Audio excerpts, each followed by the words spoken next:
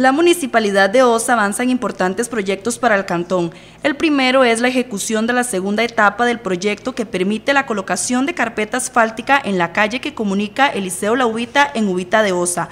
El importante proyecto tiene una inversión de 74.364.120 millones de colones y se interviene en 700 metros aproximadamente. También coloca tratamiento superficial bituminoso en calle La Curinga, en Bahía Ubita. Este proyecto tiene una inversión de 85.517.661 millones de colones y se intervienen 1.100 metros. Otro de los proyectos de gran importancia es en el que están trabajando el municipio y la Asociación de Desarrollo Integral de Ciudad Cortés. Construyen aceras en diferentes sectores del Distrito Primero.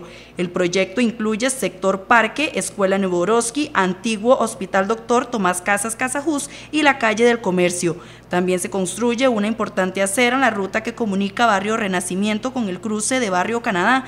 El trabajo en conjunto permite embellecer Ciudad Cortés, trabajos que se realizan para el mejoramiento y embellecimiento de este cantón de la parte sur de nuestro país.